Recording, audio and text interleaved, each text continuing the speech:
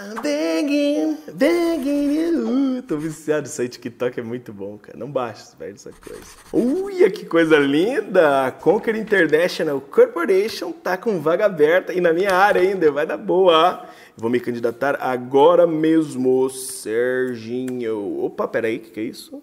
Send your resume, resume. Oh, é francês o bagulho. Only in English. Ih, não é francês, é in English, please. Ok, mas resumir. O que, que eu vou resumir da minha vida? Tá brincando comigo? Pegadinho? Não, tô brincando, pegadinho. sério. Eu não sei como resumir, meu. Eu acho que é tudo em inglês, vou resumir. Vamos lá então, peraí. Resumir. Hi.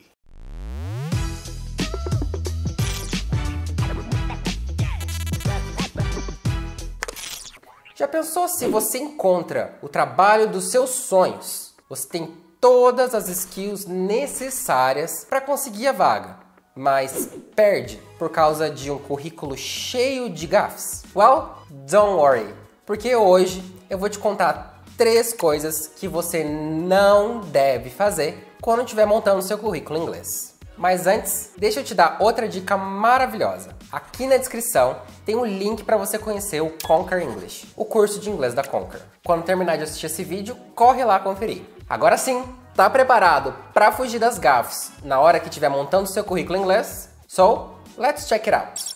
Bom, então, aqui no início do currículo, eu vou colocar o meu resumê François. Eu sou um francês, eu poliglotê.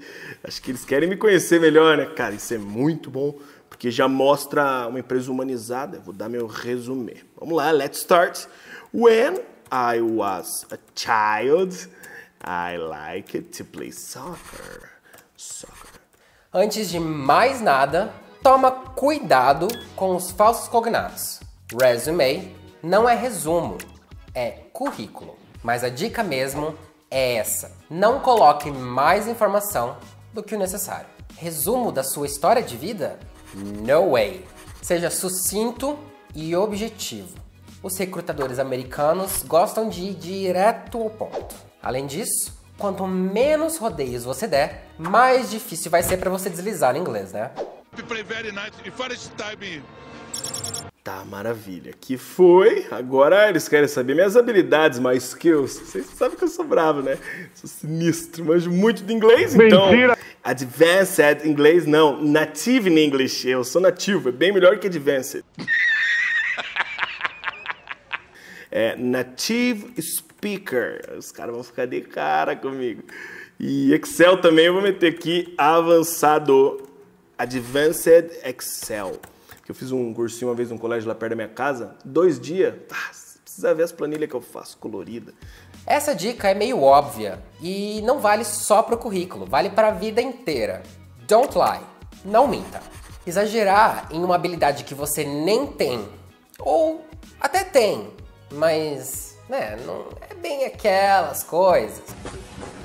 Mais ou menos! Sério, não tem como dar certo. Se você for para entrevista, o recrutador com certeza vai descobrir as suas mentiras. Show. Acho que é isso. Meu resumê ficou sensacional. Coisa linda. Agora é só enviar. Send. Agora é rezar. E por fim, não esqueça de revisar o que você escreveu. Mesmo que você arrase no inglês, seja assertivo e sincero. Não vai adiantar nada se você escrever tudo errado e o recrutador não entender a mensagem. Me diz aí, quem nunca foi sabotado pelo corretor automático? Ou pelo nervosismo mesmo? Especialmente escrevendo inglês. Melhor não arriscar, né? Leia e releia antes de enviar. Aproveita e pede para um amigo ler também. Just double check, ok? Ah, agora sim você está preparado para fazer um currículo de sucesso. Então corre lá no site daquela multinacional que você sempre sonhou em trabalhar e veja se tem alguma vaga de trabalho. E just do it. Just do it! all the vocabulary you saw in this video and the link for Conquer English are in the description below. E se você conseguiu entender o que eu acabei de falar, imagina então depois de conhecer o Conquer English. Seu inglês vai, ó, decolar. I'll see you next video. Go forth and conquer.